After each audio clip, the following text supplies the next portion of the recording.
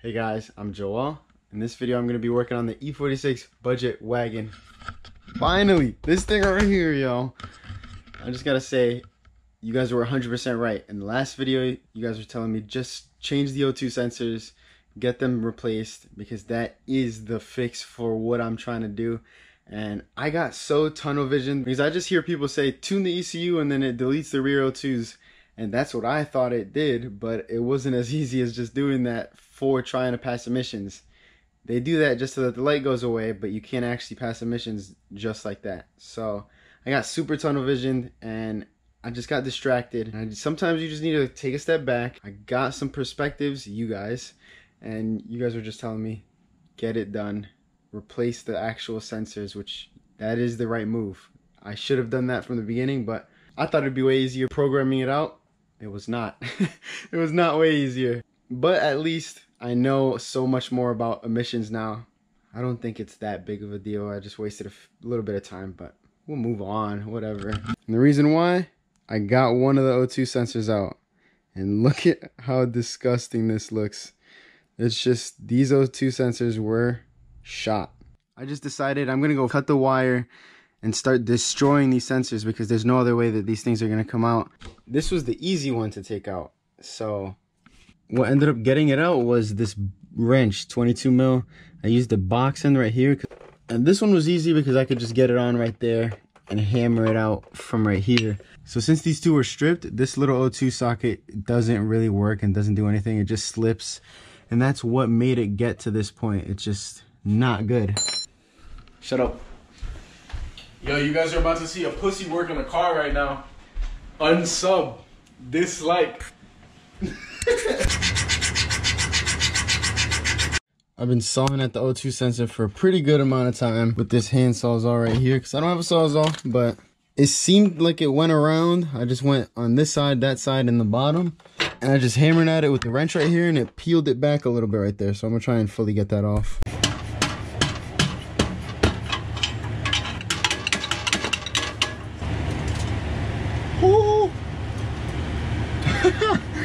oh my god, this thing is destroyed. So now I can fit the wrench on in here. It's stripped, but I don't know, it's better than where I was before. I wish it wasn't stripped, but that's what it is. I can now get the wrench on under and get into it from right here. So I can heat the actual bung up crazy right here and I have way more room to hammer it from this angle.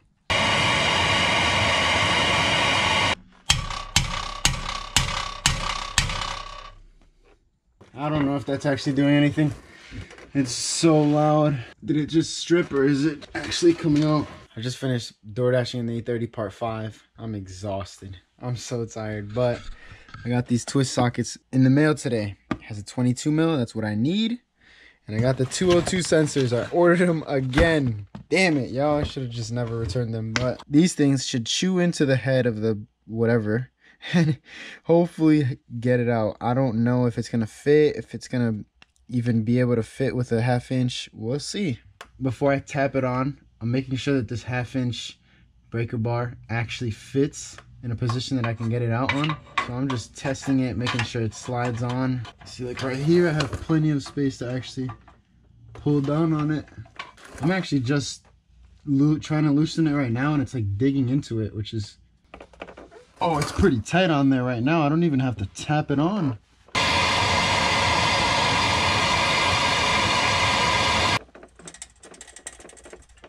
Ah. Ah, holy shit, that is so tight.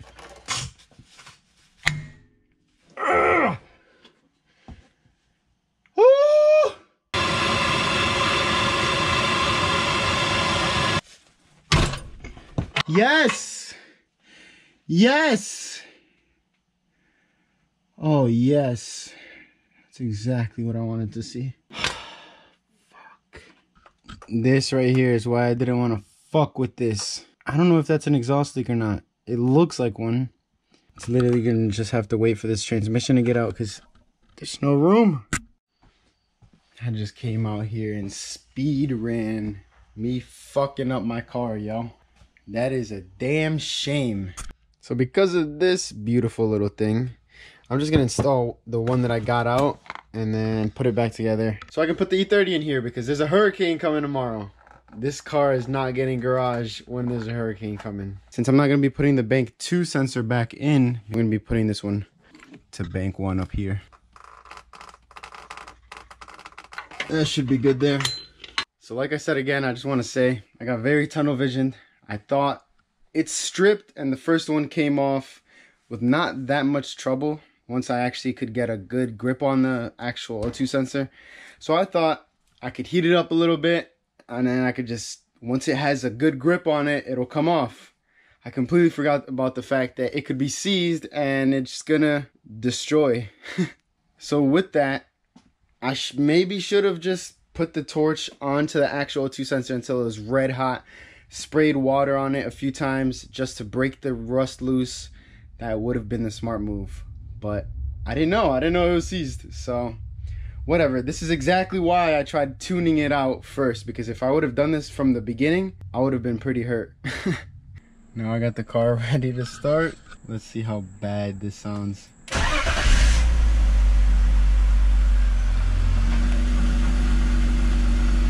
I mean, I can't hear any extra exhaust leak. It could just be still sealed. Yeah, I was expecting a very loud, noticeable leak coming from the car, but it might be leaking, but it doesn't sound bad and obnoxious. So I guess that's better than I thought. I thought it was gonna be like so unbearably, annoyingly loud, but it's not that bad. I got this handbrake extension off of Drift HQ. It was $50 and I got it because it's powder coated and it has the grip already on it and it's super easy with two set screws already in it to hold it into place. I could make this by myself and do that, but I think it just looks so good and clean. And I think this is one of those things where if I messed up making it, I would hate it, but I would never replace it until I got a hydro because I would just be like, whatever. So this little knob right here has to come off. And you start just by pulling the boot off. And with the shift boot and all, it just slips off, which is cool. now you wanna, since it has the little button with the spring in it, you wanna take the button out to take the spring out and then just slide that over right here and that's good. I've been screwing this button for so long, so I'm about to just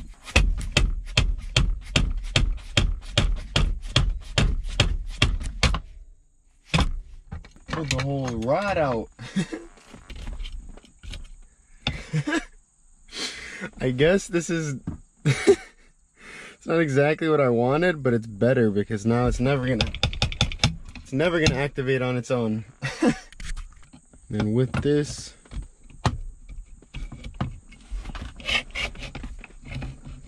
with the armrest down and this there obviously I'll have to bolt it in but you could decide once there's a shifter here probably want it more to the left when I'm pulling it from right here it's super hard because there's a lot of tension on the cables but from up here you have way more leverage. So that just pops off right there. There it is.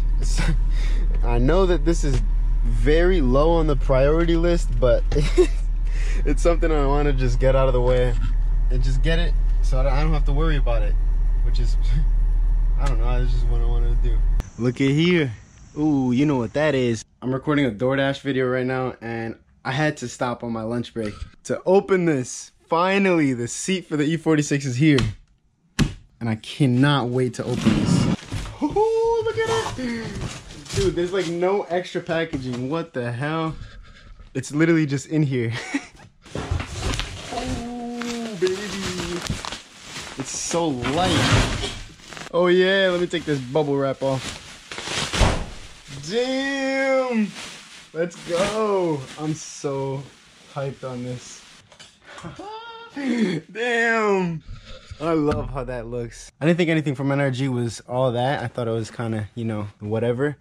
But for the E46, I think this is perfect. Let me see. I'm up. Oh, it's perfect. It's perfect.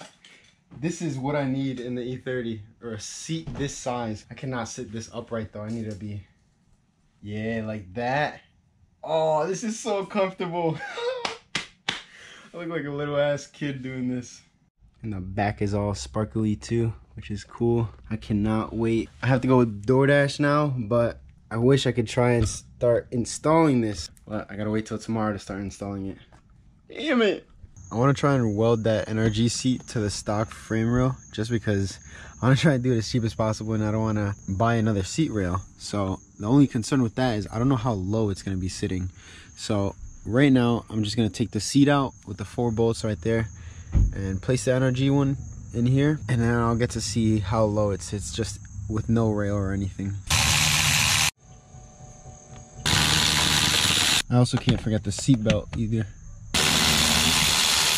Keeping the stock location for the seatbelt also would be pretty nice with this seat. I just want to disconnect the seat.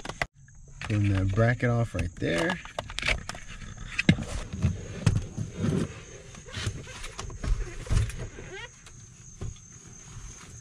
I'll definitely vacuum all this stuff out before properly installing everything. So it doesn't just bolt right up because the studs in the chassis are too wide on both sides. So, and it's a little short. So it definitely needs another rail to adapt it onto there. Before I keep going, I'm just gonna take the time to clean all this up. This is so ridiculous. You can tell which stuff is mine. It's everywhere and it's a mess. This table, oh my God. I just need to take an hour and do it. So I'm gonna clean this before even continuing. I need to make sure that this garage is clean because now that I have the transmission, I can pull the transmission out any day now. It's like two hours later, I don't know, probably more. And I finally got it all cleaned up. I got the transmission out of the car. Quick little sneak peek. I'll go more in detail about everything here on the next video that's on the E46. But that's everything to do the five speed swap. And we're all organized on the floor. Everything up here is still a nightmare, but I just don't have any room for anything. That's clean. So, finally, I can start working on this and start trying to take this seat off of the rails.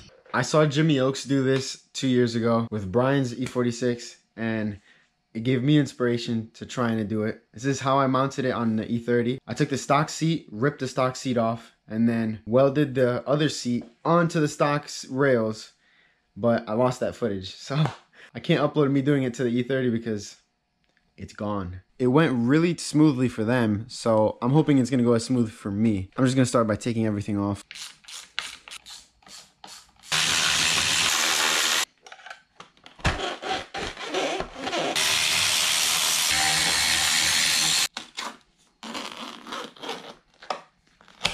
No turning back now. I was struggling like crazy to get this outer plastic out. And you have to pop this pin out, this out right here, and on the inside right here. So you have to pry this back to get access. And there we go. Now it actually is gonna be able to come out. Wow, that just broke. Oh yeah.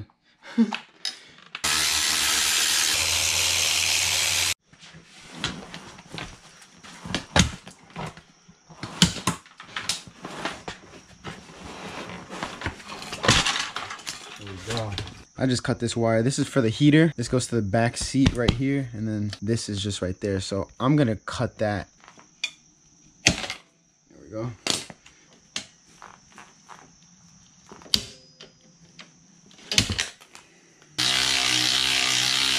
I'm going to just grind this pin off right here.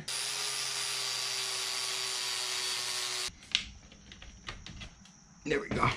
So that side's loose.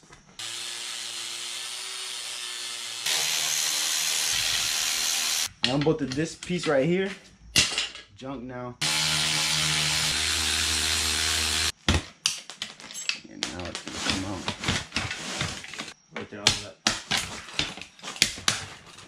Now the other side is fucking caught. there it is. I finally just took this second. My guy Omar pulled this off. So this was held in by these two clips. It pulls this whole control unit off of the trim and then that lets you pull the whole clip off. I'm gonna have to cut this right here, cut that whole lump off so that the seat can sit relatively flat. I'm trying to get this rod out with this whole motor assembly, but this isn't wanting to fit through there, so I'm gonna just cut it off.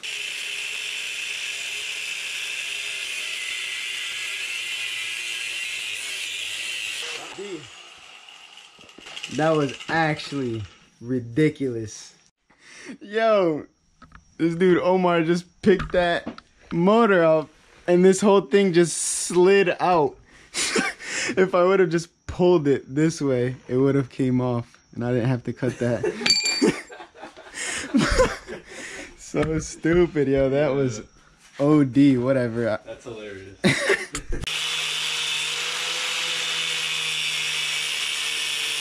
I got the piece cut off and now it's just really rough. I just want to place the seat on, see how it fits and so here's how it fits. The rail is just sitting perfectly on bracket that already comes on the seat on both sides. So it's literally it's like meant for this. So if I just grind it off and weld that straight to it, oh. I think I'll be good. So the rail is just sitting right there in its place and the seat is just gonna sit right on top of it. There's no way that this is What the fuck? Why am I so high up? There's no way that this is the lowest it'll go. It might just be that these are one too high. So lowered it down one. Oh yeah, it looks way better. So now getting in, I see why you need a quick release because this shit is so in the way. The height feels, I wish I was a little bit lower. The only thing. I might just be trying to be too picky because it doesn't even sit that bad once the door is in and the door panel's actually up next to me. And I'm thinking if I have a quick release, it'll pull it towards me a little bit. So it won't be like it's hard as hell to get in and out of this. Since I'm here, I'm just gonna try and move this bolt down to the bottom because with this at that angle, it's kind of, I can't get my heel onto the accelerator. So I'm gonna try and lower it down one. So there it's in just at the lowest setting and there's a lot more room between the steering wheel. So that's a good sign. Yeah, I'm thinking this is how it's gonna have to be on the lowest setting on both of them. Cause now I can actually fit my heel into the little pocket. Cause before I was like this. So this is definitely how it's gonna go.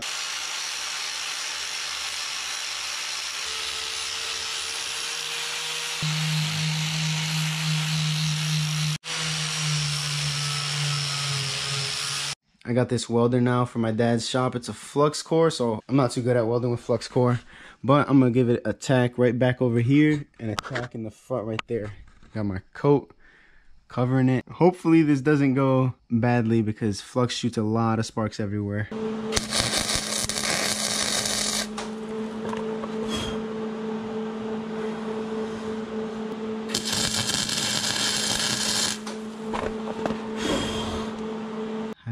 Boogers all on there. It's all tacked up. I can move it and shake it and it feels pretty good so I can go put this back in the car. I put the seat controls in and I put it all the way back and it's so far away from the pedals which that's I, good I guess but once I start going kind of forward it starts to hit right here on the center console but this is where my seat is comfortable so it's touching a little bit but it's not bad so I'm gonna definitely just put, weld it in right now. Because where it's at feels super comfortable. It's straight. It's not crooked in one direction. And it feels like i'm gonna be able to have like a really good time in this car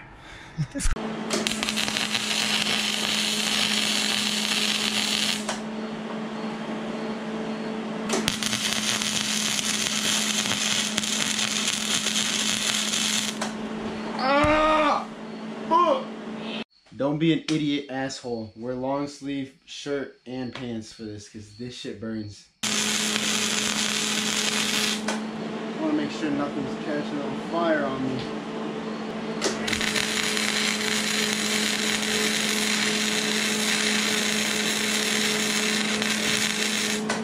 Came in with a wet rag, wiped it down. It's looking a lot better. Trying to cool it off a little bit so it doesn't affect the fiberglass.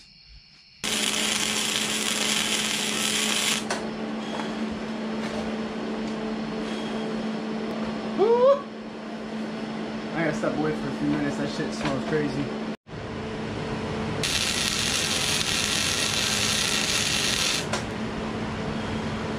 I think this is good, honestly. I can call it quits here and it should be good. Three welds. I feel very good about this. Here's a look at all the ugly little welds with the flux core. I'm gonna come back in tomorrow and paint it all. And here's this side too. So once that's all painted up, I could put the plastic covers back on and the seat's gonna be ready to go back in. I'm actually just gonna paint it right now because I want it to be dry tomorrow. Here goes nothing. one very light coat, that's it.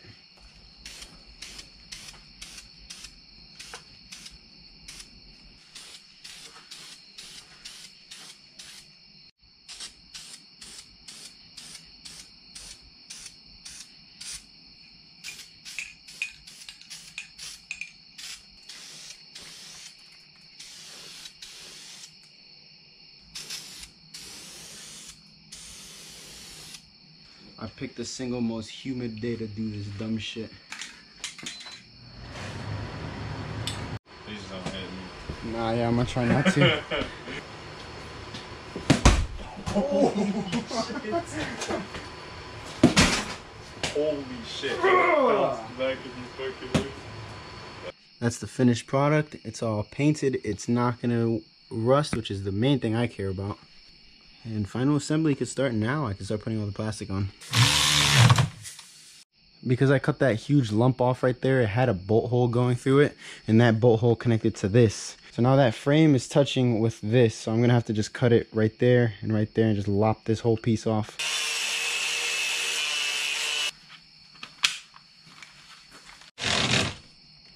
I had to cut a little bit of this because the seat bracket was getting in the way. There's a small tab on this side that had to go in first on top. And I think it'll be able to sit now.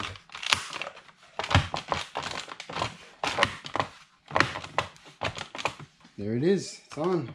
Oh, that looks so cool. From back here, that's what it looks like.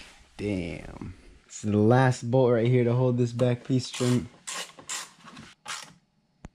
Here we go. So there, it's solid. That is Obviously this isn't in use anymore, but it's just up, down, front, back. Damn. Here's a final look at everything. The trim is all on. Everything is solid there. And this Prisma is just peeking in through up there. So you can kind of see it. You can't see any of the welds in there. And this is where the seatbelt bolts up to. So the seatbelt will go through there and through there. And on the other side, it's just like this because this is where the center console is anyways. So everything is good there.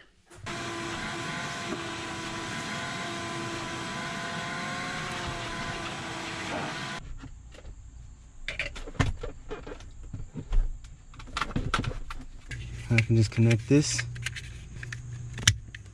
It's on the bolt holes. Turn the key on. Hey, seat works. Yup, up and down.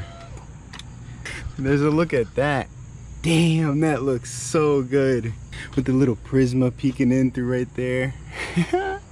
and from the back seat too, I can actually rip this off now that it's in.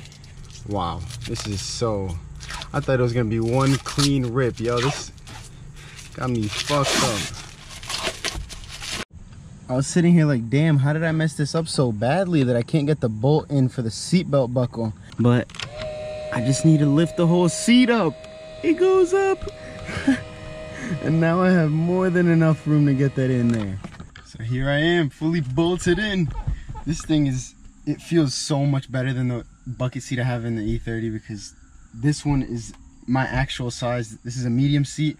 That seat is a large seat, but I got it from my cousin for free. So it made no sense to buy another seat if I had that one for free. So the reason why I welded the brackets with the seat on it is because like right here where it's pinching onto like something like this, I was scared that if I took the seat out, I wouldn't be able to slide the seat back in without completely destroying the fiberglass because I don't I wasn't trying to scratch it or anything and like destroy it trying to put it in. Everything I did on this seat is exactly what Jimmy Oaks did. So if you haven't watched his video, go to the link in the description and watch that video because this is exactly what he did a few years back. So I appreciate that video a lot because it made it a lot easier for me to do this. Now I kind of want to go drive it, see what it feels like. I just drove the car around with the bucket seat in it and it's actually crazy how well it holds me in. I didn't put it on my head because I literally wasn't doing anything. I was, I was going like 20, just taking a turn like this.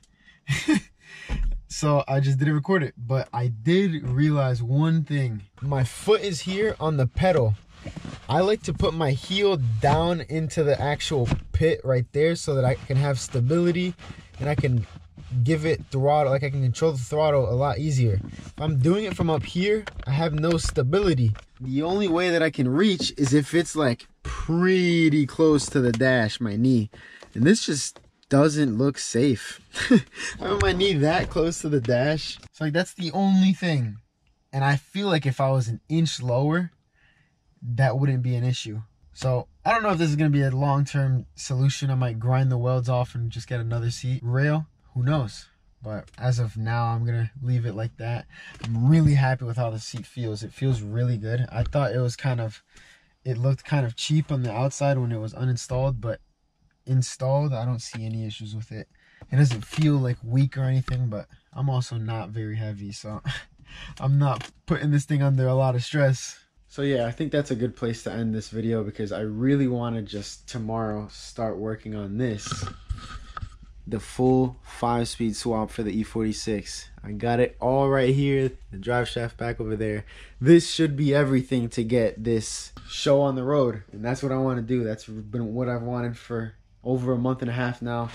I can actually start and I can start drifting once it's manual because I'll feel a lot more comfortable sliding when I can actually clutch in and clutch kick. You have to absolutely send an automatic car and I don't have that in me right now so I need to learn with a manual car but that should be fun. Stay tuned for the coming videos when I get into that and yeah subscribe leave this video a like follow me on Instagram right here at E30Joel if you want to stay up to date with everything I'm doing like I previewed this seat yesterday and I showed this five speed swap a little bit ago so make sure to follow me. And, and yeah thank you so much for watching